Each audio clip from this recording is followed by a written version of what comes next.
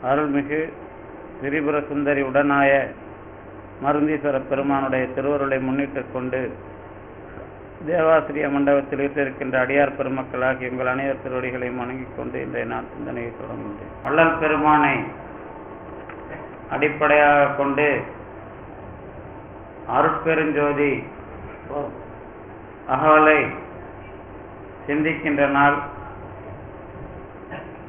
ஆண்டின் இன்றைய நாள் தைப்பொங்கலை நிறைவாக கொண்டாடுகின்ற காணும் பொங்கல் நன்னாள்.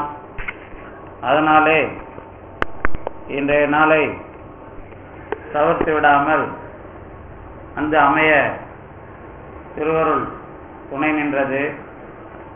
அருட்பெருஞ்சோதி அகவலில் ஒன்று என இரண்டு என ஒன்று இரண்டு என இவை அன்று என விளங்கிய அருட்பெருஞ்சோதி என்பதை சிந்தித்து ஓதாது உணர்ந்திட ஒளி அளித்து எனக்கே ஆதாரமாகிய அருட்பெருஞ்சோதி என்பதையும் அவ்வியம் ஆதி ஓர் ஆறும் தவிர்த்த பேர் அவ்வியல் வழுத்தும் அருட்பெருஞ்சோதி என்பதனையும் இணைத்து நாம் சிந்தித்து வருகின்றோம்.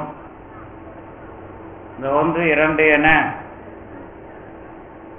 ஒன்று என இரண்டு என ஒன்று ரெண்டு என என்ற அந்த அகவலுக்கு ஒன்பதை அல்லது ஒன்பது என்ற எண்ணை அடிப்படையாக கொண்டு எப்படி கடவுள் தன்மையை அள்ளல் பெருமான் திருவொற்றியூர் பெருமானை வைத்துக்கொண்டு விளக்குகின்றார்.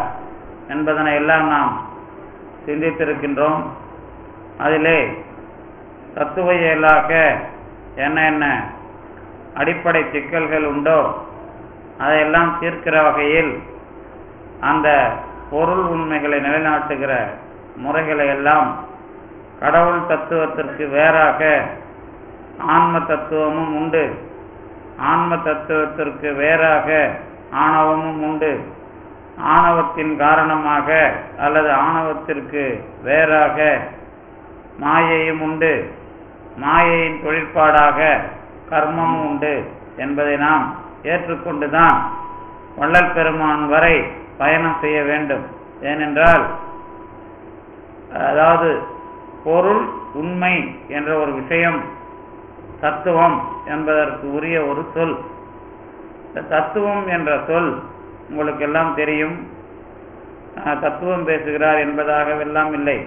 தத்துவம் என்று சொன்னால் தட் அண்ட் தட்னஸ் அது அதன் உண்மை. அதன் அதன் உண்மை அப்படின்னு அர்த்தம் இருக்கு. அதன் அதன் உண்மை என்று சொன்னால் நமக்கு உண்மை என்று தெரிகிற விஷயங்கள் எல்லாம் மாறிக்கொண்டே இருக்கும். ஆனால் மாறாத ஒன்றாக அதை பிரித்து விட்டால் அது இல்லாமல் போனால் அது அதனுடைய உண்மை. ஒரு பொருளை நான் புத்தகம் என்று பார்க்கிறேன் திருக்குறள் அல்லது ஒரு நூல் பார்க்கிறேன் அந்த நூலை புத்தக வடிவில் பார்த்தால் அது ஏடு ஏடாக எடுத்து போட்டால் புத்தகம் இல்லாமல் போய்விடும். ஆனால் திருக்குறள் என்ற ஒன்று உண்டு என்று சொன்னால் அது எழுத்தும் சொல்லும். அப்ப எழுத்தும் சொல்லும் எழுதப்படுவதற்கு அல்லது பதிய வைக்கப்படுவதற்குரிய நூல் புத்தகம். புத்தகம் காணாமல் போய்விடும். ஆனால் திருக்குறள் காணாமல் போகாது.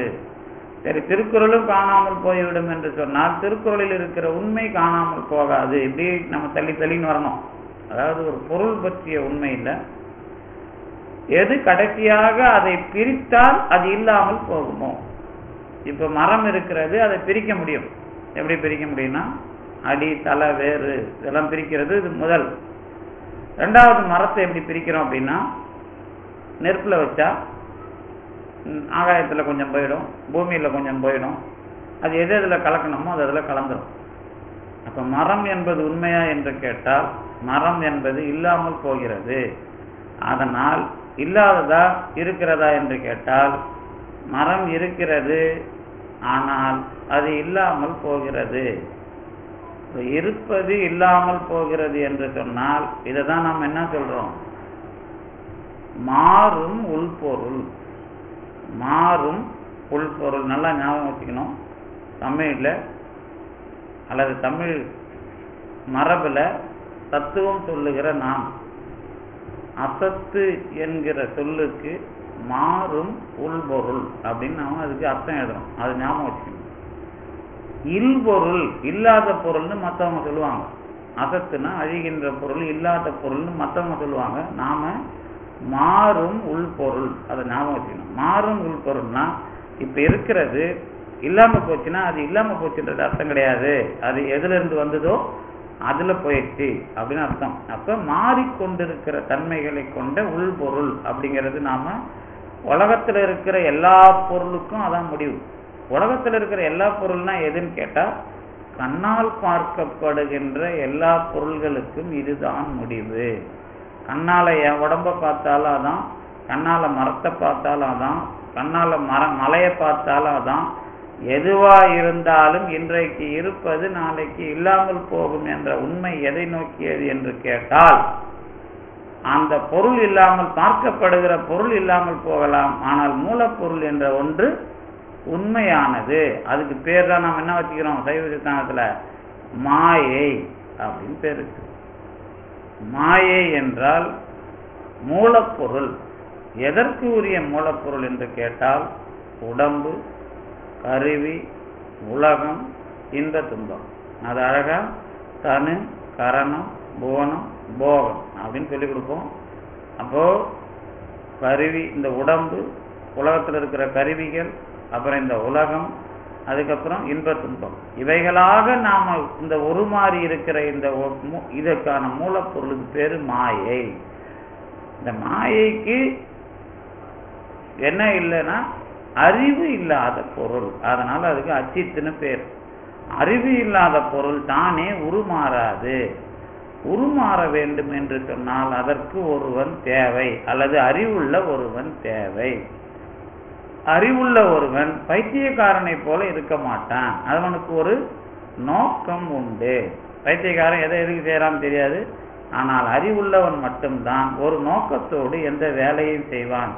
இப்ப நாம இதுதான் கேள்வி. அது என்ன கேள்வி? நோக்கம் எந்த ஒன்று அல்லது எந்த ஒரு செயலுக்கும் தெளிவாக இல்லை என்று சொன்னால் நாம அறிவாளி இல்லை. பேர் நமக்கு அறிவாளி தான் யார் எந்த வேலை நீங்க படிச்சாலும் சரி தூங்கினாலும் சரி நோக்கத்தை தெரிந்து கொள்ளவில்லை என்று சொன்னால் நாம் அங்கதான் என்ன சொல்றோம்?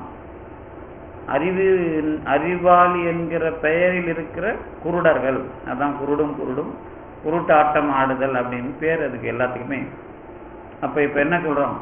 இந்த மாயைங்கிற பொருள் தான் மூலப்பொருளாக இருக்கிறது. உலகம் உடம்பு முதல் எல்லாமே கடவுளால் இந்த உயிர்கள் ஈடேறுவதற்காக இந்த உயிர்களுடைய அறிவுத்தன்மைக்கு ஏற்ப என்ன பயன்பாட்டுக்கு உரியதாக ஆக்க தரப்பட்டிருக்கின்றன.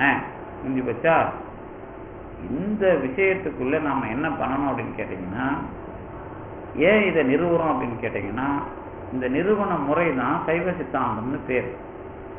எதை நிறுவன முறை? நல்லா கேட்டுக்கணும். இந்த உலகத்தை பார்த்து உலகம் எப்படிப்பட்டதுன்னு ஆராய்ச்சி பண்ற துறை தான் தத்துவத்துறை மெய்ப்பொருளியல் துறை. உலகம் எப்படிப்பட்டதுன்னு சொல்லணும்னா உலகத்துக்கு கடவுள் உண்டா இல்லையான்னு சொல்லணும். உலகத்துல உயிர்கள் இருக்குதா இல்லையான்னு சொல்லணும். அல்லது உலகத்துல பார்க்குற பொருள் இத்தனைன்னு சொல்லணும். உலகத்துல பார்க்கறதுல கண்ணுக்கு தெரியறது நாலு தான் முதல்ல சொன்னது. எதை சொல்லல? ஆகாயத்தை விட்டுட்டு நிலம் நீர் தீ காற்று இந்த நாளை தான் முதல்ல ஏற்றுக்கினாங்க காற்று கூட கண்ணுக்கு தெரியாது ஏன்பா ஏற்றுக்கினேன் அப்படின்னு கேட்டப்ப தான் இல்லை அது நம்மளை தொட்டுட்டு போகுது அதனால் நான் ஏற்றுக்கிறேன் அப்படின்னு இந்த அஞ்சு கண்ணு மட்டும் இல்லை மெய் வாய் கண் மூக்கு செவி இந்த அஞ்சு புலனும் வேலை செய்யுதுல்ல. இந்த அஞ்சில் ஏதாவது ஒரு வகையில் ஒரு பொருள் இருக்கிறது என்று தெரியுமானால் நேரடியாக அதுதான் உலகத்துக்கு மூலப்பொருள் இதை தவிர வேற ஒண்ணும் இல்லை அப்படின்னு சொன்னவன் தான் முத முத தத்துவவாதி. அவன் தான் மெட்டீரியலிஸ்ட் அவன் தான் நமக்கு சார்வாகன் பேர். நம்ம மரபுல இந்தியாவில் சார்வாகன் பேரு. அவன் தான் என்ன சொன்னான்னா நீ உலகத்துல கடவுள் இதெல்லாம் பேசிட்டு வம்பா வீணாலக்காத உலகத்துல கடவுள் ஒன்றும் இல்லை. உலகத்துல பொருளும் ஒன்று வேற தனியாக ஒன்றும் இல்லை. இருக்கிறதுல இந்த நாளும் எப்படி வெத்தலைப்பாக்கு சுண்ணாம்பு சேர்ந்தா ஒரு சிவப்பு நிறம் வருதோ எப்படி வந்து நம்ம ரெண்டு மூணு கலரில் ஒன்று சேர்த்தா புதுசாக ஒரு கலர் வருதோ அந்த மாதிரி உடம்பு இந்த நிலம் நேர்த்தி வலி இது வழியில் நாலு பொருள்களில் கலந்து அது என்ன கிடைக்குது? ஒரு உடம்பு கிடைக்குது. அது சேர வேண்டிய முறையில் சேர்ந்தா கிடைக்கும். அதை வச்சுக்கிட்டு நீ உலகத்தில் பார்க்குறது இன்பத்தில் கண்ணு காது மூக்கு நாக்குக்கு எது இன்பமோ அதெல்லாம் அனுபவி. இந்த அஞ்சுக்கும் இன்பம் தர்றது பெண் அப்படின்னு நயமாக பேசினது தான் தேன் ஒழுவ பேசினதுனால அவனுக்கு தேன்மொழி நாவினர்னு பேர். சார் வாக்குனா தேன்மொழி சார்னா தேனு ரசம் சார் அப்படின்னா தேனு வாக்குனா பேசுறது. தேன்மொழி தேன் மாதிரி இன்னைக்கு இன்னைக்கு பேசுனது அவங்கன்னு நம்ம அவங்கள பட்டியல் போடுவோம். இப்போ இந்த இந்த மாதிரி உலகத்தில் பார்க்குற இந்த பொருள்களை தாண்டி அப்புறம் பொருளை எப்படி ஏற்றுக்கிறாங்கன்னா இந்த உன்னை உடம்பு தடவிட்டு போகுதுன்னு சொல்கிறேன் அதை நீ கண்ணால் பார்க்கலையே எப்படி ஏற்றுக்கிறேன்னா அது தடவுறதுனால தெரியுது. அப்படியா? அப்படின்னா நீ என்ன பண்ணணும்னா உனக்கு தெரிஞ்ச காட்சி அளவையை தாண்டி அல்லது கண்ணால பார்க்கறது தான் உண்மைங்கிறத தாண்டி கண்ணால பார்க்காததும் உண்மை அப்படிங்கிறத ஏத்துக்கோ அப்படின்னு சொன்னாங்க. அதுக்கு பேர் தான் வழி அளவை இன்ஃபரன்ஸ் அப்படின்னு பேரு. அதுக்கு தான் முதல்ல பார்க்குற காட்சி அளவை பிரத்யட்ச பிரமாணம். காட்சி அளவை பெர்செப்ஷன் இப்படின்னு பேசுறது காட்சி அளவை. பெர்செப்ஷன் பிரத்யட்ச பிரமாணம் காட்சி அளவை. எல்லாம் ஒரே விஷயம்தான். காட்சியை சமஸ்கிருதத்தில் சொன்னா பிரத்யட்ச பிரமாணம். அது இங்கிலீஷ்ல சொன்னா பர்செப்ஷன் ரெண்டாவது இந்த காற்று தடவரத்தை பற்றி நீங்க சொன்னீங்கன்னா அதுக்கு பேர் இன்ஃபரன்ஸ் தமிழில் கருதல் அளவை வடமொழியில அனுமானம். மானம்னா அளக்கிறது. பிரமாணம்னா நல்லா அளக்கிறது. மானம் பிரமாணம். பிரமாணம்னா நல்லா அளக்கிறது. அதுவே துணை அளக்கிறதுக்கு துணையா இருந்தா அனுமான் ராதா அனுராதா. ராதாங்கிற ஒரு பெரியவ அனுராதானா குட்டி ராதா அதாவது அணுனா துணை. அது அணு அப்படின்னா ராதானா முழு அந்த பொண்ணு. அவளுக்கு கூட இருக்கிற இன்னொரு குட்டி ராதா அனுராதான்னு பேர். அதே மாதிரி தான் மானம் அனுமானம். அனுமானம்னா அளவைக்கு உதவுறது. இப்படிதான் அதை இன்சூரன்ஸ் கருதல் அளவைக்கு பேர் வச்சாங்க. இது ரெண்டுத்தையும் தாண்டி உனக்கு தெரியலனாலும் ஏற்கனவே புக்குங்க இருக்குது. அதில் சொல்லி வச்சிருக்காங்க அதை பாருங்க. அதில் கொஞ்சம் தெரியும் அப்படின்னா அதுக்கு பேர் சப்த பிரமாணம் வெர்பல் டெஸ்டிமோனி தமிழில் நூல் அளவை. நமக்கு நூல் எது பிரமாணம்? கடைசியாக வந்த நூல் எதுனா ஆகமம். அதனால் ஆகம அளவை. இப்படின்னு மூணு அளவை. அளவைனா எதுக்கு அப்படின்னா உலகத்தை அளந்து பார்க்குறது. உலகத்தை முழம் போட்டு அளக்கிறது இல்லை அவர் யாரு வாமனன் மாதிரி அளக்கிறது இல்ல இந்த உலகத்தை அனுபவிச்சு நான் எப்படிப்பட்டவன் உலகம் எப்படிப்பட்டது கடவுள் எப்படிப்பட்டவன் இதுக்கெல்லாம் பதில ஒழுங்கா சொல்லணும். இப்படி ஒழுங்கா சொல்ற வேலையை தான் இந்திய தத்துவத்துல முயற்சி பண்ணாங்க. நான் ஏன் இதை கொஞ்சம் விவரமா சொல்றேன்னா நிறைய பேர் பார்க்குறாங்க அவங்களுக்கு இந்த அடிப்படை தெரிய வேணாமா நீங்களாம் அடிப்படை தெரிஞ்சவங்க. இருந்தாலும் இந்த இப்படிதான் தத்துவத்தை இயக்கி இருக்கிறாங்க அப்படிங்கிறது தெரியணும். ஏன் வள்ளலார்னா தத்துவ குப்பையில் போய் மாட்டிக்காதீங்கன்னு ஏன் சொல்றாரு? இவ்வளவு பெரிய ஒரு பெரிய அதாவது வலுவான ஒரு இயக்கத்தை ஏன் வள்ளலார் வந்து சாடுறார்? அப்படின்னு நீங்க அதுக்குள்ள அனுபவிக்க வேணாமா? அது அது ஏன் கடவுளை அனுபவிக்கிறது தான் எல்லாருக்கும். இப்போ நமக்கு வந்து எவ்வளோ எவ்வளவு நாளைக்கு தான் படிச்சிட்டு இருக்க முடியும்? ஒரு சரவணன் சார் வந்து அருப்பஞ்சோதி அகவல் படிச்சுட்டு தான் பேசுறாரா? இல்லை அருப்பஞ்சோதி அகவலை வச்சுக்கிட்டு பேசுறாரான்னு கேள்வி கேட்டால் அவர் எல்லாத்தையும் படிச்சிருப்பாரா? எப்போ நேரம் கிடைக்கும் அப்படின்னு கேட்டா அதெல்லாம் ஒன்றும் நம்ம முடிவு சொல்ல முடியாதுல்ல. ஆனால் அது எப்படி நம்ம அனுபவிக்கிறோம் அப்படிங்கிறது தான் அதுல இருக்கிற முக்கியம். ஏன்னா இதில் காலமும் நேரமும் வீணாகி உங்கள் வாழ்- வாழ்க்கையை இழந்துடாதீங்க அப்படிங்கிற பொறுப்பில் தான் வள்ளலார்கிட்ட பேசுகிறார் இதுக்குள்ளேயே காலத்தை செலவு பண்ணி நீங்கள் எப்பப்பா தெரிஞ்சுக்கிறது? மாணிக்கவாசகர் சொல்கிறாருல்ல எனக்கு தெய்வம்னு ஒன்று தெரிஞ்ச பிறகு தான் உலகத்தில் இருக்கிற தத்துவவாதிலாம் என்னை இழுத்தும் போய் அஹ், குமுறு குமுறுன்னு குமுறுனா அப்புறம்தான் தாயேயாகி வளர்த்தனை போற்றின்னு தெரிஞ்ச பிறகுதான் என்ன வந்தது? நான் உன்னை பற்றி தெரிஞ்சுக்கிட்டேன் அப்படிங்கிறார். அதுக்கு முன்னாடி அதாவது யார்? உலோகாயதன் எனும் ஒன்றிரல் பாம்பின் கடுவிடம் அப்படிம்பார். ஒவ்வொரு சமயத்தும் என்னை பாம்பு கொட்டுற மாதிரி ஒருத்தன் கூட்டி போனான். அதாவது விஷம் தலைக்கு ஏறின மாதிரி எனக்கு அதில் தலையில் ஏறி இருந்தது அதுக்கப்புறம் பைத்தியம் பிடிக்கிற மாதிரி ஆச்சுன்னு ஒவ்வொரு தத்துவம் என்னென்னலாம் ஒரு காலத்தில் இருந்ததோ அது எல்லாத்தையும் பட்டியல் கொடுக்குறாரு. அப்போ நம்ம கடவுள்ன்ற ஒரு விஷயம் தெரிஞ்ச பிறகு அதை பற்றி அதுக்குள்ள போறதுக்கு நாம முயற்சி பண்ணா உலகத்தில் இருக்கிற எல்லாரும் அவன் நீ என்கிட்ட வா என்கிட்ட வான்னு இழுத்து போனான் திருநாவுக்கரசரே அறிவாளி அவரே யாரும் இழுத்து போனான் சமணர்கள் கூட்டிட்டு போனாங்க. அவர் சொல்றார் சைவத்துல அன்னைக்கு யாரும் ஒரு லீடர் இல்லாம எனக்கு ஒரு சிக்கலா போச்சு என்ன நான் அங்க போய் மாட்டிக்கிட்டேன் அப்படின்னு புலம்புறாரு. அந்த மாதிரி வரக்கூடாதுங்கிறதுக்கு தான் வள்ளலார் என்ன பண்றாரு? நேரா நீங்கெல்லாம் சேர மாட்டீங்கப்பா உங்களை பத்தி எனக்கு தெரியும். அதனால தத்துவ சாஸ்திர குப்பையெல்லாம் உங்களை நீங்க கிளறிட்டு இருக்காதீங்க அப்படின்னு ரொம்ப தெளிவா நேரா வழங்குறார். அப்ப அதுக்கான வரலாறு தான் நான் இப்ப சொல்றேன். எவ்வளோ பெரிய வரலாறு இந்தியாவில் இருந்ததுன்னா அந்த இந்த மாதிரி பட்டியலா வளர்றதுக்கு முன்னாடி முத முதல் நூல் கடவுளை பத்தி ஆராய்ச்சி பண்றதுக்கு வேதம் உபநிடதம் நமக்கு கிடைக்குது. அதை யாரும் எல்லாரும் மறுக்கல திருஞான சம்பந்தரம் மறுக்கல.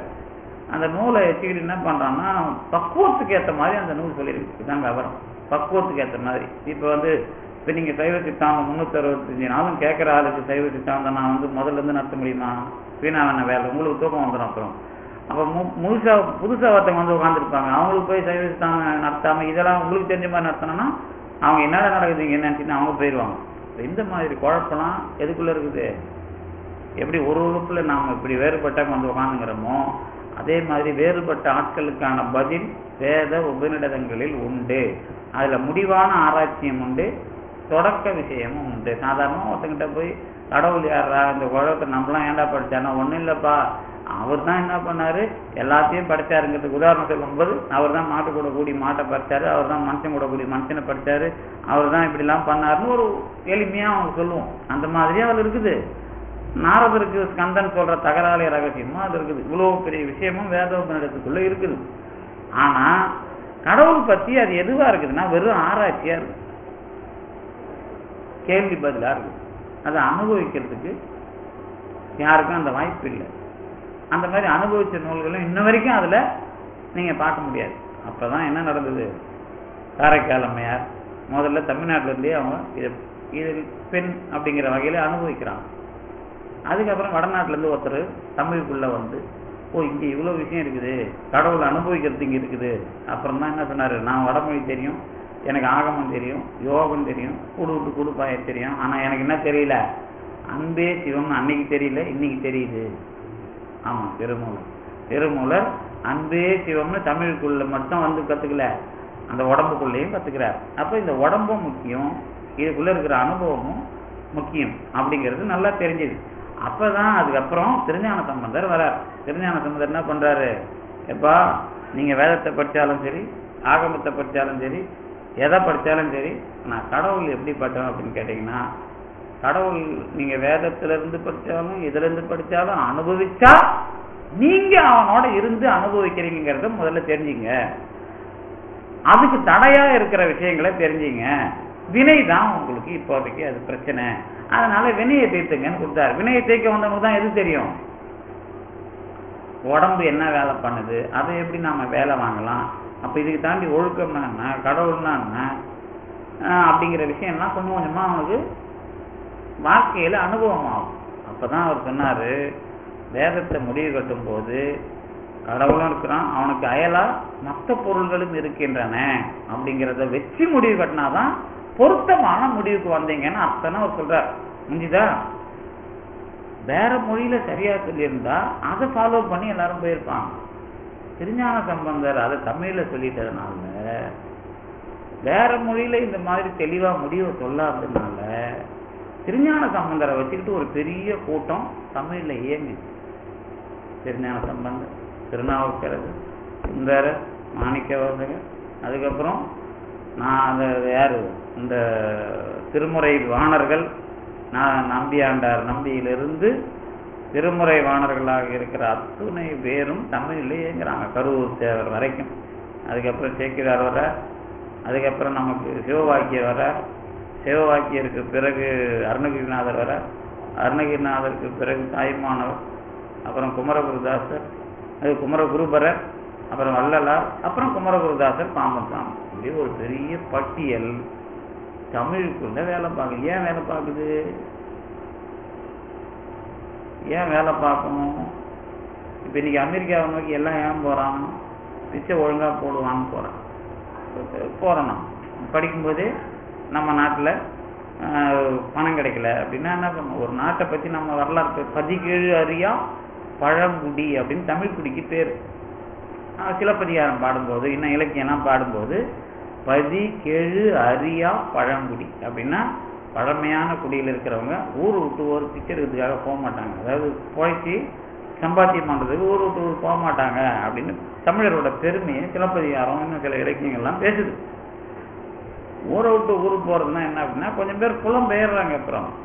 ஊரை விட்டு ஊருக்கு போகிறதுனா என்னன்னா இந்த நம்ம ஊரில் வளமை குறையுது அப்படிங்கிறப்ப போகிறோம் அப்போ நாம் இன்னைக்கு என்ன பண்ணுறோம் அப்படின்னு கேட்டிங்கன்னா இப்போ நமக்கு தெளிவாக நம்ம மொழியை நம்ம இருக்கிற பொருளை பயன்படுத்தி வாழ முடியும் அப்படிங்கிற திட்டம் தெளிவாக இல்லாததுனால அமெரிக்காவில் வந்து ஒருத்தன் திட்டம் சொல்கிறான் அதுக்காக நம்ம இங்கே ஸ்கூலை நடத்திட்டு இருக்கிறோம் இங்கிலீஷ்லேயே காலேஜ் இதெல்லாம் இங்கிலீஷ்லேயே நடத்தி படிக்கும்போதே பிறந்த உடனே நம்ம என்ன முடிவு பண்ணி போகிறோம் படிக்கிறதே இங்கே படிக்கிறது இல்லை அப்படிங்கிற மாதிரி படிச்சுட்டு போயிட்டு இருக்கோம். இதுதான் நம்ம நம்ம வருங்கால தலைமுறையோட நிலவரம். இதான் நடக்குது.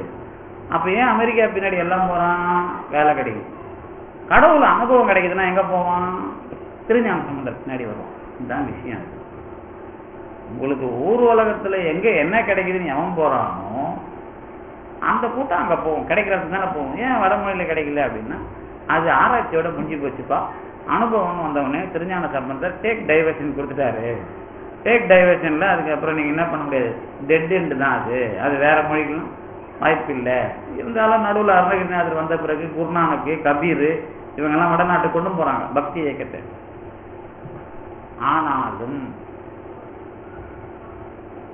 பொருள் முடிவில் கவனம் இல்லாததுனால இன்னமும் வாய்ப்பு இல்லை எதுக்கு வாய்ப்பு இல்லை பொருள் முடிவு நீங்க எடுக்கிறீங்கன்னு வச்சுங்களேன் பொருள் முடிவுனா என்னன்னா மறுபடியும் மறுபடியும் ராம ஒரே கடவுள் அது தவண்டி வேற ஒண்ணும் இல்லைன்ற மாதிரியே நீங்க பாடினீங்கன்னா அது அனுபவம் கிடையாது. நினைச்சு பாடுறது. அனுபவிச்சு பாடினீங்க அப்படின்னா நீங்க இந்த பரம்பரையில் வருவீங்க. எந்த பரம்பரையில? திருஞான சம்பந்தர்ல இருந்து பாம்பன் சாமி வரைக்கும் வருவீங்க. அனுபவிச்சா நான் வேற கடவுள் வேற தான் ஆனா கடவுளுக்குள்ள நான் கலக்கணும். நானும் இருப்பேன் கடவுளும் இருப்பான். அது என்ன தாண்டி மூணு பொருள் இருக்குது. இந்த தெளிவான பொருள் முடிவுக்கு வரல அப்படின்னா நீங்கள் போகிற பாதை பாதை இல்லை. அப்ப இந்த பாதைக்கு உரிய இடம் எது? தென்னாருடைய சிவனே போற்றின்னு அவர் சொன்ன விஷயம் தான் சிவன் வழிபாடு உலகத்துல எல்லா நாட்டிலும் இருக்குது. நீங்க சிவன் வழிபாட்டை பத்தி படிக்கணும் அப்படின்னு நினைச்சீங்கன்னா இலங்கைக்காரர் எழுதினது அதுக்கப்புறம் இங்க ஒருத்தர் எழுதினது. இந்த ரெண்டு நூல்ல உலகம் முழுக்க நீங்க சிவன் கோயில் இஸ்லாம் கிறிஸ்துவத்துக்கு முன்னாடிலாம் இருக்கிற தடயம்லாம் அந்த நூல்ல நீங்க பார்க்கலாம். வெளிநாட்டுக்காரன் எழுந்திருக்குது இங்கே நம்ம சாட்சிகளோட எழுதியிருக்கிறாங்க. அதுக்காக நான் அது சிவன் வழிபாடுன்னு நான் சொல்லிட்டு சொல்றதுக்கு அந்த லிங்க வழிபாடு வேற ஒண்ணு அப்புறம் லிங்கம்ங்கிற அடையாளம் பேர்ல முக்கியமா அப்படின்னு கேட்டா பேர் பெரிய விஷயம் இல்லை. கடவுளை காட்டுகிற பாதை உலகம் முழுக்க இருந்தது. அதான் எந்நாட்டவருக்கும் இறைவா போட்டின்னு அவர் சொன்னது. ஏன்னா இவங்க எதுவும் சும்மா பாடுறது இல்லை வரலாறுலாம் அதுக்குள்ள துணை செய்யும். தென்னாடுடைய சிவனை போட்டிருங்கிறப்ப அவன் விளங்குற இடம். அவ்வளவுதான் விஷயம். அவன் விளங்குறது எங்க அப்படின்னா இங்க விளங்குறான். அப்ப என்ன அர்த்தம் அதுக்குன்னா இதுதான் திருஞான சம்பந்தர் பண்ண வேலை. அவர் என்ன பண்றாரு அப்படின்னா சிவே நம சிவே நம சிவே நமன் சொல்லிட்டு தான் எல்லா வேலையும் பண்ணார். திருஞான சம்பந்தர் பண்ண வேலையில முக்கியமான வேலை சிவே நம்ம சிவே நம்ம அப்படின்னு சொல்லிக்கிட்டே வேலை பார்க்கணும் இப்ப நீங்களாம் சிவே நம்ம சிவே நம்ம உருட்டலாமா? நான் வள்ளலார் எடுக்கும்போது தெளிவா சொல்லியிருக்கேன் வள்ளலாறு தொடங்கும் போது நம்ம சிவைய முதல்ல சொல்றீங்க. அது பேரு. அதை தாண்டி சிவைய நம்ம மந்திரம். அதை தாண்டி சிவைய சிவ சொல்லுவோம். அதை தாண்டி என்ன சொல்லுவோம்? சரவண பவ சொல்லுவோம். அதை தாண்டி அருட்பெருஞ்சொலி அப்ப மந்திரம் இதுதான் உயர்ந்ததுன்னு கொடி பிடிக்கலாமா? என்ன? அதுக்கு அர்த்தம் சொல்லலாம். இப்ப நீங்க வந்து பல பேர் இருப்பீங்க. பல பேர் அதுக்கு அர்த்தம் என்ன அப்படின்னா ஒரு ஒரு ஒரு சொற்பொழிவுக்கோ அல்லது ஒரு வழிபாட்டுக்கோ போற எல்லாருக்கும் அவங்களுக்குன்னு ஒன்றும் தெரியாது. ஆனா ஏதோ ஒரு கொஞ்சம் குருமார்கள் அது தொழில் நடத்திட்டு இருப்பாங்க. அது அவங்க ஒரு மந்திரம் கொடுப்பாங்க அது ஒரு தீட்சை கொடுப்பாங்க இதுல ஒரு தீட்சை கொடுப்பாங்க. ஏகப்பட்டது இருக்கும். யார் இல்லைன்னு நீங்க கொடுங்க வீர சைவத்தில் ஒண்ணு கொடுங்க சைவத்தில் ஒண்ணு கொடுங்க காஷ்மீர் சைவத்தில் ஒண்ணு கொடுங்க சன்மார்க்கத்துல ஒண்ணு கொடுங்க எதுல ஒன்றாலும் கொடுங்க. அதை பத்தி எனக்கு கவலை இல்லை. மந்திரம்ங்கிறத எந்த மாதிரி அனுபவிக்கணும்? இப்போ நீங்க வேள்வி வேதம் மந்திரம் இதிலெல்லாம் எப்படி பண்றாங்க அப்படின்னா உலக பொருள்கள் கிட்ட வேலை செய்யறதுக்கு மந்திரம் நல்லா உதவும் நல்லா கேட்டுக்கணுங்க. அது நமக்கு தெளிவா இன்னைக்கு தோணுது அதனால சொல்றேன். மந்திரம் வந்து ஒரு மேட்டர் மந்திரம்னா சொல் ஒலி உலகம். அதானே? நாத விந்து கலாதி நமோ நாதம்னா ஒலி விந்துனா ஆற்றல். நாத விந்து ஒலியும் ஆற்றல். ஒலியே உங்களுக்கு ஒலியாக கேட்கப்பட வேண்டுமானால் அதுக்குள்ள என்ன இருக்கணும்? விந்து இருக்கணும். கரெக்டா அகரம் எல்லா எழுத்துக்களுக்கும் தலைமையானது. எப்படி சொல்றோம் அப்படின்னா உந்தி முதலா முந்து ஒலி அப்படிம்பார் தொல்காப்பியர். இந்த மூலாதாரத்திலிருந்து எழும்புகிற காற்று தொண்டைக்கு வந்தோம். அதுக்கப்புறம் அது வெளியில வாய் வழியா வரும். இந்த உந்தி காத்துல இயங்குற ஒலிக்கு பேரு அகரம். மூலாதாரத்துல இயங்குற அந்த எழுத்து இப்படி வளைஞ்சு எழுந்திருக்கும் போதே அதுக்கு அகரம்னு பேர். ஆ அப்படின்னு நான் வாயால சொல்லும்போது அதுல ரெண்டு ஆ இருக்கும். மூணு ஆ தான் ஆ. ஒண்ணு இந்த மூலாதாரத்துல இருந்து எழுந்தது பாருங்க. அது எழுந்தாதான் மத்த எந்த சொல்லும் எழுந்திருக்கும்? எந்த எழுத்து எழுந்திருக்கும்? உலகத்துல எந்த மொழிக்கும் அதான். இந்த மூலாதாரத்துக்கு மட்டும் அகரம் ஏங்கிட்டாங்கன்னா அந்த இப்ப நீங்க புயல் காற்று பாக்குறீங்கல்ல சுத்தி வளைஞ்சி போகும். அந்த மாதிரி அது புள்ளி இயக்கம். அப்ப அகரம் அப்படிங்கிறது அங்க அப்ப. வாய் திறந்தா அகரம். வாயை திறக்கிறதுக்கு முன்னாடி மூலாதாரத்துல வருது இல்ல? அதான் நீங்க நினைக்கிறீங்க? இப்ப நான் நமச்சிவாய சொன்னா இல்லையா? சொன்னா ஆனா வாயை திறக்கல அப்ப அதுக்கு மூளை வேலை செய்தா காத்து வேலை செய்தா? நல்லா கேட்டுக்கணும். மூளை வேலை செய்தா காத்து வேலை இங்க கொஞ்சம் குழப்பமாகுது இல்ல நினைக்கிறீங்களா காத்து வேலை செய்யும் காத்தை எழுப்பி நினைக்க கத்துக்குங்க மந்திரம் வேலை செய்யும். காத்தை எழுப்பி நினைக்க கத்துக்கணும். வெளியில வரக்கூடாது. அப்ப உடம்பும் அதுதான் தியான முறை தியானத்துல ஏன் சிவாய நம்ம சொல்றாங்க இப்படிதான் அது தியான முறை அதான் அப்போ உங்களுக்கு மூலாதாரத்துல இருந்து அது மேல ஏறதுன்னா உங்களுக்கு. ஆமா உதடும் வசதிக்கு தேவையில்லை. ஆனா காத்து வர்றது தெரியணும் உங்களுக்கு. மூலாதாரத்துல இருந்து காத்து வர்றது தெரியணும். அவ்வளவுதான் விஷயம். இது வெறும் காத்தா இருந்தா என்ன வேலை செய்யும்? என்ன வேலை செய்யும் திரும்ப அதெல்லாம் என்கிட்ட புலம்ப கூடாது. உங்க எண்ணம் இணையற காலத்துல மந்திரத்துக்கு என்ன வேலை? மந்திரம்ங்கிற சொல் வர்ற காலத்துல என்ன வேலை? மந்திரம் நல்லா எதுல வேலை செய்யும்னா நீங்க உலகத்துல இருக்கிற பொருள்களை வேலை வாங்குறதுல நல்லா வேலை செய்யும். எழுத்து லா பா ரா யா ஆ பா. எது? பொன் பார் புனல் வெண்மை. படிச்சிருக்கீங்களா உண்மை விளக்கத்துல? ஆரம்பத்திலே வரும் சைவ சித்தாந்த விளக்கப்படம் படிச்சீங்கன்னா நிலம் நீர் தீ வழி வானுக்கு எழுத்து உண்டு நிறம் உண்டு குறி உண்டு. குறி குளித்தம் கோக நகம் இதெல்லாம் படிச்சிருப்பீங்க. ஒவ்வொரு ஐம்பதத்துக்கும் அந்த குறியை போட்டுட்டு அந்த வண்ணத்துல போட்டுட்டு அந்த எழுத்தை நீங்க சித்தரிச்சீங்கன்னா அந்த நிலம் நீர் தீ வலிவான இயக்கலாம். இந்த மே இந்த பொருள் உலகமா இருக்கிறதுக்கு மந்திரம் நல்லா வேலை செய்யும். ஏன்னா எழுத்தும் பொருள் தான். பொருள்னா மேட்டர் அதாவது ஒரு ஆற்றல். உலகமும் ஆற்றலினுடைய வடிவங்கள். சரிதானே? ஆனா என்ன கிடையாது அதுக்கு? அறிவு கிடையாது. அப்ப இத கடந்து மந்திர இடத்துக்கு வரணும் அப்படின்னா நடுவுல நிக்கிறதா நம்ம சிவையன்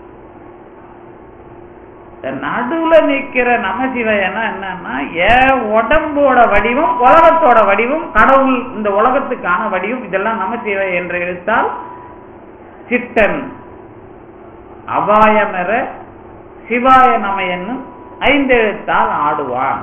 படிச்சிருப்பீங்க. அதுவும் உண்மை விளக்கம் தான் சித்தன்னா கடவுள் சித்தன்னா சித்தன். சித்தன்னா ஞானம் உள்ளவன் அர்த்தம். சித்தன்னு பெயர் கூடாது நீங்க. சித்தன் அப்படின்னா சித்தன். சித்தன்னா சித்தன் இல்ல அறிவாளின்னு அர்த்தம். சித்துனா ஞானம். ஞானி அப்படிங்கிறத நாம சித்தன். அதை உண்மை விளக்கத்துல சித்தன்னு போட்டார். சித்தன். அவன் எழுத்து அஞ்சு ஆள் ஆடுறான் அப்படின்னா இந்த உலக பொருள்களும் நமசிவய வடிவம் தான். இறைவன் ஆட்டத்தும் அதாவது என்ன? நகாரம் திருவடி மகாரம் உண்டி சிகாரம் பலத்தோல் எகாரம் கண்ணு மகாரம் முடி. நடராஜருக்கு பார்க்குறீங்களா அதே தான் உங்களுக்கும். நடராஜர் ஏன் மிருகமா இல்லை மனுஷனா தான் ஆடுறார் அவ என்ன அர்த்தம் அப்படின்னு கேட்டீங்கன்னா நமசிவாய என்பதுக்கு முன்னாடி எல்லா மேட்ருக்கும் மந்திரம் இருக்குது. அதெல்லாம் நல்லா தான் வேலை செய்யும். இப்ப நீங்க மந்திரம் சொல்றதை விட இந்த உலக பொருள்களை வசியம் பண்ற மந்திரம் வேலை செய்யும் நல்லா. ஏன்னா அது செட் ஆகும். செட் ஆகும்னா அது அதோட பொறுத்துடும் ஏன்னா அதுக்கு அந்த ஆற்றல் இயங்கிக்கிட்டு தான் இருக்கு. இப்போ நீங்க அந்த மாதிரி காந்தத்தை வச்சு அது இருக்கிற மாதிரி அதுங்க செய்யும். ஆனா கடவுள் அனுபவத்துக்கு இந்த மந்திரம் வேலைக்கு ஆகாது அப்ப எண்ணம் வேலை செய்யணும். முதல் படி. எண்ணம் வேலை செய்யணும்னா நமசிவையை இப்ப மாறணும். சிவைய நமவா மாறணும். அப்ப சிகாரம் என்றால் இறைவன் வகாரம் என்றால் அருள் யகாரம் என்றால் ஆன்மம் நகாரம் என்றால் மறைப்பு மகாரம் என்றால் திரோதம் அல்லது மறைப்பு திரோதம் இதை மாற்றி சொல்லிங்க அதை பத்தி பிரச்சனை இல்லை. இந்த சிவைய நம்ம சொல்லும் போது என் எண்ணம் ஒவ்வொன்றுத்துலயும் நிக்கணும். இது கடவுள் இது அருள் இது ஆன்மா அப்படின்னு நிக்கணும். இது கடவுள் இது அருள் இது ஆன்மான்னு எப்படி நிக்கும்? நிக்காது. அப்போ ஒவ்வொரு செயலுக்குள்ளும் கடவுளை முன்னிறுத்தி அருளால் நான் இருக்கிறேன் வாழுகிறேன் நினைக்க ஆரம்பிச்சீங்கன்னா என்ன வேலை செய்யுது? சிதைய நம்ம வேலை செய்யுது. ஆணவமும் கர்மமும் நீங்குது. இந்த வேலையை செய்யறது தான் சிவய நமன்னு மந்திரத்தை சொல்றது. இது ரெண்டும் உங்களுக்கு என்ன வரணும்? மூளையில பொருத்தமா வரணும். இல்ல நான் உருட்டிக்கிட்டே இருந்தாலும் உங்க காலம் உருண்டிக்கிட்டு இருக்கும். வேற ஒன்றும் நடக்காது. ஒழுங்கா உருட்டுறதுனால ஒண்ணு நடக்கும். இந்த சிவயங்கிறத நீங்க வாழ்க்கையில தெரிஞ்சுக்கிறதுக்கு ஒரு பிறவி கிடைக்கும். ஆனா உருட்டுறதுனாலே இந்த பிறவில உருப்பிட்டுருவீங்களான்னு கேட்டா உருப்படுறதுக்கு அடுத்த பிறப்பு தான். இதுல மாறலன்னா. புரியுதா?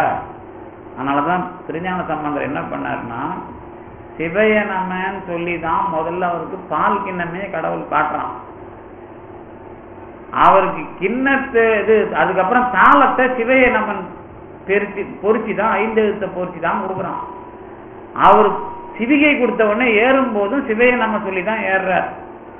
எது பண்ணாலும் சிவையை நமங்கிறத அவர் நினைச்சுக்கிட்டு தான் சொல்லிட்டு தான் எல்லா வேலையும் பார்த்தாருன்னு சேர்க்கிறார் திருஞான சம்பந்தர் புராணம் முழுக்க அமைக்கிறார்.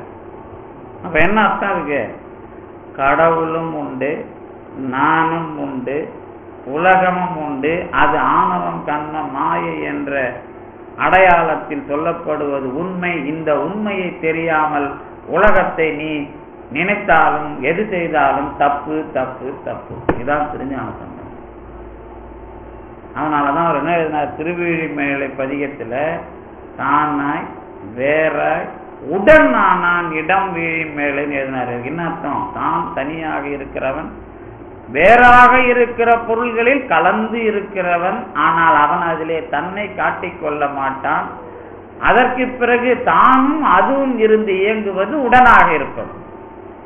இந்த தானாய் வேறாய் உடன் அப்படிங்கறத தான் ஒரே சொல்லாட்சியில நீங்க வேதத்துல புரிஞ்சுக்கணும். அதுக்கு பேர் தான் அத்துவிதம்னு.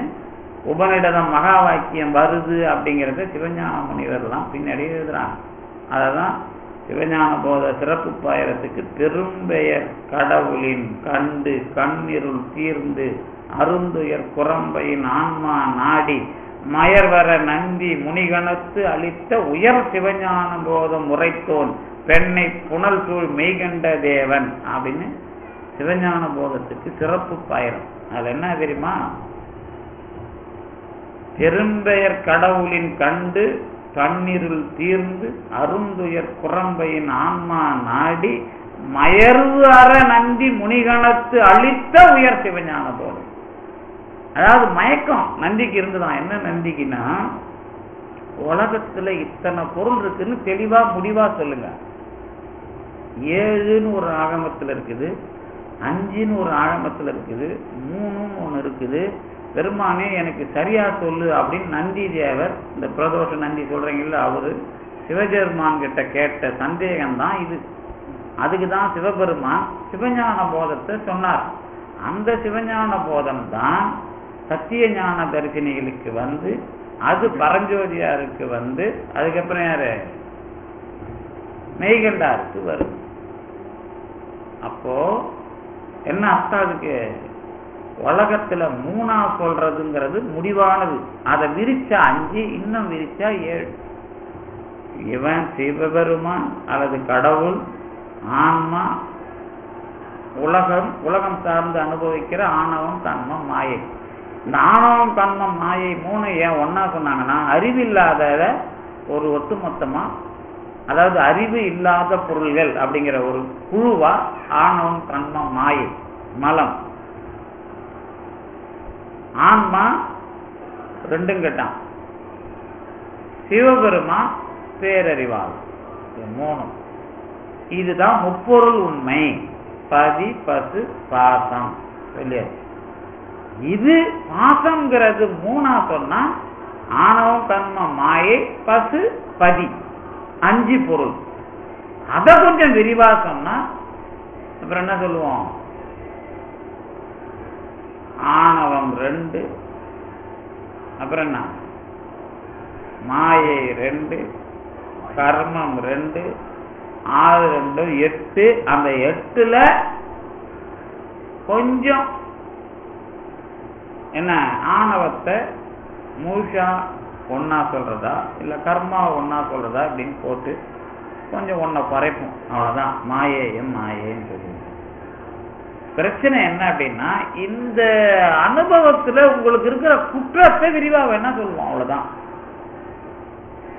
அது ஏன்னா அவன் புத்திக்கு ஏற்ற மாதிரி வேலை செய்யும். அவன் என்ன என்னைக்கு திருந்த போறான்லாம் தெரியாது. அதனால அதை கொஞ்சம் விவரமா சொல்லுவான் ஆனா ஆணவம் என்பது மாயை என்பது கர்மம் என்பது இந்த மூன்றும் அறிவில்லாத அதை விட்டுடணும் அறிவாளியான நான் அறிவாளியாக இல்லாமல் இருக்கிறேன். நான் முழு அறிவாளியோட சேரணும். என்னோட சேர்க்கை எதோட கிடையாது? அறிவு இல்லாத பொருளோடு கிடையாது. இந்த முடிவுக்கு வரணும் தான் உலகத்து பொருளை தெளிவா தெரிஞ்சுக்கிங்கப்பா. இது வேதத்திலையும் இதை பாருங்க.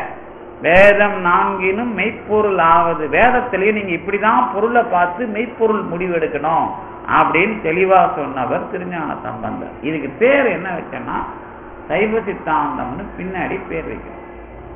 சைவ சித்தாந்தங்கிற பேரு திருமூலர் கொடுத்திருந்தாலும் அது ஒரு இயக்கமா நாம அமைச்சது திருஞான சம்பந்தர் இவ்வளவு தெளிவா வேதத்துக்கும் பேசியிருக்கிறார். இனிமே இப்படிதான் நாம சொல்லணும் அப்படின்னு சைவ சித்தாந்தம் பேசணும். பேசின பிறகு அதுல என்ன வந்ததுன்னா நீங்களாவது பரவாயில்ல வள்ளலாராவது பரவாயில்ல. மெய்கண்டார் எழுதின காலத்திலேயே அவருடைய மாணவர் நீங்க வந்து எல்லாத்தையும் வச்சுலாம் மெய்கண்டார பார்க்காதீங்க. ஆகமத்தை வச்சு பார்த்துக்குங்க அப்படின்னு தெளிவா ஒரு ஒரு வட்டம் போட்டுடுறார் ஒரு எல்லை கட்டிடுறார்.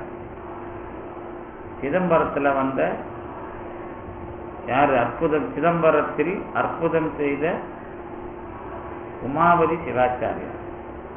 எப்பா நீங்க குறிக்கிடாதீங்கப்பா சைவ சித்தாந்தத்தை. அது பெரிய வட்டம். வேதத்துல இருந்தும் நீங்க சைவ சித்தாந்தத்தை தான் புரிஞ்சிக்கணும் அப்படின்னு தெளிவா சிவப்பிரகாசம் எழுதுறார். அப்ப புரியுதா விஷயம்? மெய்கண்டார வச்சு ரெண்டு விஷயம் அப்பவே வருது. அப்ப என்ன இதுக்கு வேலை? அந்த அந்த மாதிரி கையில எடுத்தவனுக்கு பேர் தான் சமயவாதின்னு பேர். இதை பிரிச்சு நாம எடுக்கலாமா? அதை பிரிச்சு அவங்களுக்கு கொடுக்கலாமான்னு அதுக்கு ஒரு சடங்கு தீட்சை அப்புறம் என்னது அது? இன்னொன்னு ஒண்ணு வருது. சரியை கிரியை யோகம் ஞானம். அதுல இன்னொன்னு வருது. என்னது அது? நான் முத்தி ஆ தா- தாய் சாமீபம். பேசுறேன்ல. இந்த முத்தி வேறுபாடுலாம் ஏன் வருது? மனசுக்குள்ள வேற ஒண்ணு பூந்துடும் அதனாலதான் வரல இதுக்குள்ள பேதம் பேசுறாங்கப்பா. கடவுள்ல என்ன பேதம் இருக்குது? கடவுளை நீங்க அனுபவிக்கிறதுக்கு இந்த மு- இந்த முறையில போனோம்னா கடை வேலைக்கு ஆகாது நேரா கடவுள் எந்த வேலை செய்யறானோ அதை பாருங்க. அவன் உயிர்கள்லாம் வாழணும் வேலை செய்யறான் அது தாண்டா பெரிய தகுதின்னு போட்டு வச்சார் அதனால வள்ளலார் சைவ சித்தாந்தத்துக்கு எதிரி கிடையாது. சைவ சித்தாந்தம் போற பாதை தப்பு அப்படின்னு சொன்னவர். அப்ப திருஞான சம்பந்தர் இவருக்கு எதிரி ஆயிடுவாரா? ஆக மாட்டார். வள்ளலாருக்கு சைவ சித்தாந்தம் என்ற அந்த அஞ்சு பொருள் விஷயமா மூணு பொருள் விஷயமா முடிவு இல்லாம அவர் எதுல அதான் அங்க முக்கியம். அந்த முடிவை வந்து மறுத்து எதுல அது பார்த்துட்டீங்கன்னா என்ன பிரச்சனை வரும் தெரியுமா? இவரும் கடவுளை அனுபவிச்சாரு அவரும் கடவுளை அனுபவிச்சாரு. இப்படி சொல்லணும். இல்லைன்னா இவர் அனுபவிக்கல இவர் தான் அனுபவிச்சாருன்னு சொல்லணும். எந்த கட்சியில வருவீங்க? திருஞான சம்பந்தரும் அனுபவிச்சார் வள்ளலாரும் அனுபவிச்சார்னு சொல்ற கட்சிக்கு போவீங்களா? திருஞான சம்பந்தர் தாங்க அனுபவிச்சாரு வள்ளலார் அனுபவிக்கலைங்கிற கட்சிக்கு போவீங்க. சரி இந்த கட்சியை ஒத்துக்கவே மாட்டீங்க. பரவாயில்ல மகிழ்ச்சி. திருஞான சம்பந்த திருவாரூர் வந்து உட்காந்துட்டீங்க. ஆனா ஒண்ணு சுத்துக்குங்க. இவரும் அனுபவிச்சார் அவரும் அனுபவிச்சார் பார்த்தீங்களா? அந்த மாதிரி சொல்றது எப்படிங்க ரெண்டு பேரும் அனுபவிச்சார் சொல்லுங்க இவர் வேற மாதிரி சொல்றாரு அவர் வேற மாதிரி சொல்றாரு. எப்படிங்க அனுபவிச்சாருன்னு கேட்டானா சொல்லுங்க. நாங்க கடவுளை பிரிச்சிட்டோம்ல அவருக்கு திருஞான சம்பந்தருக்கு வந்த கடவுள் வேற. இவருக்கு வந்த அவரு சிவபெருமான்ல இவருக்கு முருகர்ல வந்தார். அழகா பிரிச்சோமா இல்லையா? ஏன் வந்தா அப்பா வந்தான்னா என்ன? பொண்ணு வந்தான் இது ரொம்ப கொடுமையா இருக்குதுல்ல? இதெல்லாம் கொஞ்சம் யோசனை பண்ணும்போது சிரமமா இருக்குது. அதானே? அப்ப என்ன பண்ணார்னா கடவுளுங்கிறதையும் வேணாண்டா ஜோதிக்கு வாங்கடா சண்டை போட்டுக்காதீங்கப்பா அவரா இதுல உங்களுக்கு தான் புரிஞ்சிக்கிறதுக்கு புரியலையே. உங்களுக்கு தான் மனசு மாற மாட்டேங்குதே. அப்ப நம்ம எல்லாம் ஜோதி தான். ஆதியும் அந்தமும் இல்லை. அரும்பெருஞ்சோதி மாணிக்க வாசகர் சொன்னார்ப்பா அதுதான்பா நான் அண்டமாரிருள் ஊடு கடந்து உம்பர் உண்டு போலும் ஓர் ஒன் சுடர்னு அவர் சொன்னார்ப்பா திருநாவுக்கரசர் அதுதான்பா நானும் சொல்றேன் உருவமும் உயிருமாகி ஓதிய உலகுக்கெல்லாம் பெருவினை பிறப்பு வீடாய் நின்ற எம்பெருமான் அருவி பொன் சொரியும் அண்ணாமலை உலாயின்னு அவர் சொன்னார்ப்பா திருஞான சம்பந்தரும் அந்த வழிதான் ஜோதி விஷயம் சொன்னார்ப்பா திருநாவுக்கரசர் சொன்னார் ஆனா நீங்க அவங்க உங்களுக்காக பேசுனதை வச்சு அதுதான் அவங்க பேசுனாங்கன்னு சொல்லாதீங்கப்பா. அதே சந்தேகம் அதுல என்ன சந்தேகம்? அப்ப அப்ப எல்லாரும் சொன்னாங்கன்னா நீங்க ஜோதியா முருகனை பார்ப்பீங்களா சிவனை பார்ப்பீங்களா இல்ல சிவனை ஜோதியா பார்ப்பீங்களா இப்போ இப்ப கொஞ்சம் மாட்டிக்கிட்டா அப்பதான் என்ன பிரச்சனை வரும்னா அவரு ஒரு மாதிரி அனுபவிச்சார் இவர் ஒரு மாதிரி அனுபவிச்சார் கடவுளை தான் அனுபவிச்சாங்கன்னு சொல்லிக்கிட்டே இருந்தீங்கன்னா கடவுளுங்கிறவன் யார்? இவருக்கு ஒண்ணு கொடுத்துட்டு அவருக்கு ஒண்ண கொடுக்குறாளா? அப்ப கடவுள் எத்தனை கடவுள்னு மறுபடியும் போய் நிற்கும் கடவுள் என்பவர் ஒருவராயிருந்தால் இந்த அருளாளர்களுக்குள் பேதம்னு நீங்க சொல்லக்கூடாது. அதாவது நம்ம எப்படி ஒரு நெரு நெருக்கடியில் இருக்கிறோம்னு கேட்டீங்கன்னா உலகமே பாடம் கத்துக்கிற பெரிய விஷயத்த கையில வச்சிருக்கோம் உலகத்துக்கே நீங்க பாடம் கத்துக்கலாம் நீங்க பத்து பேர் இருந்தா கூட போதும் உலகம் முழுக்க உங்களை தான் பார்க்கணும். இன்னும் தொல்லியல் ரீதியாகவும் தொல்லியல்னா வரலாறு கண்டுபிடிக்கிறேன்ல. உலக பூமி பந்து. இந்த பூமி பந்துல நாடுகள் இருக்குல்ல அமெரிக்காவிலேருந்து இருந்து இங்கிலாந்துல இருந்து ஆப்பிரிக்கால எல்லாம் இருக்குல்ல. எல்லா நாட்டுக்கும் மனித குல வரலாறை கண்டுபிடிச்சி சமூக விஞ்ஞானம்ங்கிற பேரில் மார்க்ஸ் எழுது. மார்கன்கிறவர் எழுதினது அவங்க அறிமுகப்படுத்துறாங்க அவங்களும் எழுதுறாங்க. மனிதன் சொத்து உடைமை எல்லாம் எழுதுறாங்க. அவங்க வந்து நாகரிகம் எப்படிலாம் தோன்றுச்சுன்னு எழுதுறாங்களோ வேட்டுவர் அப்புறம் வந்து தாய் வழி அப்புறம் இப்ப இருக்கிற ஆண்டாரம் மொத்த விஷயமும். எல்லா வரலாறுக்கும் இன்னைக்கும் மூலங்களை உடைய ஒரு புள்ளி தமிழ்நாடு. உலகத்துல வேற எங்கேயும் எல்லா வரலாற்றுக்கும் ஆதாரத்தை தேடி போனீங்கன்னா எல்லாம் ஒண்ணு கிடைக்கும் ஒன்று கிடைக்காது. ஆனா எல்லா ஆதாரங்களும் கிடைப்பதற்கு உரிய ஒரு அருமையான வரலாற்று பொக்கிஷம் தமிழ்நாடு. இன்னைக்கும்.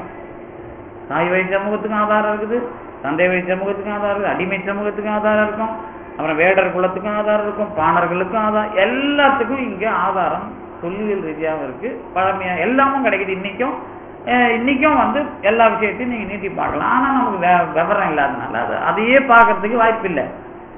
இது தொல்லியலுக்குன்னா அதை தாண்டி கடவுள் அனுபவத்துக்கு இவ்வளோ சரக்கு இங்க இருக்கு. நம்ம அறிவாளிங்க என்ன பண்ணிட்டாங்கன்னா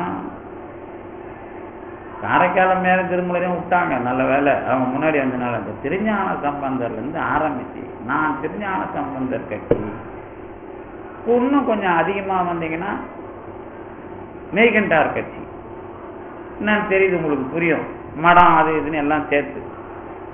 இது ஒரு கட்சி. இந்த பக்கம் வள்ளலார் கட்சி. எல்லாம் சேர்ந்து இவர் பெரியவர் அவர் பெரியவர் சொற்பொழிவிலேயே வேலை மெனக்கட்டு எல்லாத்தையும் இன்ன வரைக்கும் பொழப்பு நடத்துற வேலை பண்ணதுனால நம்ம சொத்தை உலகத்துல இருக்கிறோம். பார்க்கறதுக்கு நாம் இன்னும் வழி ஏற்படுத்தல. இதுல வந்த இது இதுல வந்தவர் தான் வள்ளலார். நீ உலகத்துல இருக்கிறவங்களாம் நான் சொல்லணும் அவசியம் இல்லப்பா. எங்க இங்க இருக்கிற மக்கள் இதுங்களுக்கு இங்க இவ்வளவு விஷயம் இருக்குதுன்றத நான் ஏன் பின்னாடி எளிமையா சொல்லித்தரேன் அப்படிங்கறத அவர் கையெடுத்தார். இன்னும் நாம என்ன பொறுப்புல இன்னைக்கு இருக்கிறோம் அப்படின்னு கேட்டீங்கன்னா கடவுள் ஒண்ணுன்னு சொல்றேன் அப்படின்னா இதுக்குள்ள எனக்கு பேதம் வரக்கூடாதுங்கிற எண்ணமே எனக்கு வரல. அது வந்தாதான் இவங்களை நாம் பிடிச்சி தெளிவு அடைஞ்சு எல்லாருக்கும் சொல்ல முடியும். அப்படி இல்லைன்னா என்னாச்சு? படிச்சவன் பாட்டை கெடுத்தான் எழுதுனவன் ஏட்ட கெடுத்தாங்கிற கதையா போயிட்டு அதனால அதனாலதான் ரொம்ப தெளிவா இன்னைக்கு ஒரு சின்ன விஷயம் சொல்றேன். இந்த ஒன்று என இரண்டு என ஒன்று இரண்டு எனங்கிறதுக்குள்ள ஒன்பதை வச்சு பெருமான் எழுதுறாருல அதுல இருக்கிற பெரிய விஷயம் இதுக்கு முன்னாடி இருந்த ஐந்து எழுத்துல இருந்து வர்ற விஷயம்தான். அதனாலதான் இவர் திருவத்தியூர் பதிகளை நம்ம சிவாயத்தை நான் மறக்கேன் சிவாயனம் என்ற நீர் அணிந்திட்டேன் ஓம் சிவ சண்முக சிவ ஓம் சொன்னது. அதுக்கப்புறம் அருட்பெருஞ்சோதி சொன்னதெல்லாம் வரலாறு சொல்லியிருக்கிறேன். மனிதர்கள் பக்குவப்பட்டு ஏறது வேற. ஏற்கனவே அருள் உலகத்துல திருஞான சம்பந்தரை முன்னிட்டு கொண்டு நமக்கு எல்லா பாடத்திலேயும் எல்லா சந்தேகத்தையும் அருள் உலகத்தில் தெளிவிப்பதற்காக ஆயிரக்கணக்கான பாடல்களும் நூல்களும் வந்திருக்கிறது என்று சொன்னால் அதை வள்ளல் பெருமான் எதுக்காக உங்க நம்மளை வாய்ப்பு அதாவது கூவி கூவி அழைத்து சொன்னார் என்று சொன்னால் அதுல நீங்க இப்ப உங்களுக்கு பயிற்சி தர்ற முறையில போயெல்லாம் மாட்டிக்காதீங்க. எளிமையா வாங்க. அது எல்லாமே உங்களுக்கு புரியும். எல்லா அருளாளர்களும் உங்களுக்கு எதை சொன்னார்கள் என்று அந்த பாதையை காட்டும் அப்படிங்கறதுல ரொம்ப தெளிவா. அதுதான் எது?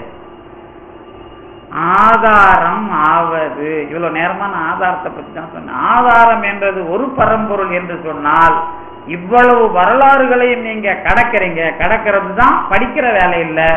ஓதாது உணர்ந்திட ஒளியளித்து எனக்கே ஆதாரமாகிய அருட்பெருஞ்சோதின்னு ஒவ்வொரு அனுபவத்துக்குள்ளேயும் தெரிஞ்சுக்கிறது. ஆனா அனுபவத்தை போய் போய் படிச்சு படிச்சு தெரிஞ்சுக்க போறீங்கன்னா மாலாது தெளிவா வாங்க கடவுள் அப்படிங்கிறதுக்குள்ள வந்து அதனுடைய பாதையில பயணம் செய்தால் இப்ப நீங்க அருளாளர்களை பார்த்தா உங்களுக்கு பேதம் தெரியாது. அப்ப பேதத்தோடு பேசுறவன் ஆதாரத்துக்கு வரல ஆதாரத்துக்கு வந்துட்டா பேதம் இல்லாமல் ஓதாது உணர்ந்திட ஒளி அளித்து அங்கதான் ஜோதி தெரியும். அதுதான் யாரு குருஞான சம்பந்தர் சொன்னார்ல ஜோதி திறமறிய ஆசானம். விழல் எனவே நீத்து விடு. அதாவது கற்பில்லாத பெண்டீர் நீதி இல்லா வேந்தன் இதெல்லாம் வாழக்கூடாது அந்த நாட்டுல. அது மட்டும் இல்ல ஜோ ஒரு நீங்க அவன்லாம் இல்லைனாலும் பரவாயில்ல நீங்க யார்கிட்ட கத்துக்கணும்னு போறீங்களோ அவங்கிட்ட பேதம் இல்லாத ஞானத்தை தருகிற ஜோதி திறம் அறிகிற ஆற்றல் இல்லை என்று சொன்னால் ஜோதி திறம் அறிய ஆசானும் விழல் எனவே நீக்கி விடு அப்படின்னு குருஞான சம்பந்தர் சொன்னது. ஆதாரத்தை உணராதவர்களுக்கு. அதனால ஒளி என்பது அதுதான் அதுதான் உங்களை பிரகாசமடைய வைக்கும். அதுதான் ஆதாரமாகி அருப்பெருஞ்சோதியாக மலர்வது என்பதை சொல்லி அடுத்த வாரத்தில் விரிவாக சிந்திக்கலாம் என்பதை சொல்லி இந்த அளவுக்கு தந்து நிறுத்திய திருவர்களுக்கும் குருவர்களுக்கும் நன்றி விடுகின்றேன்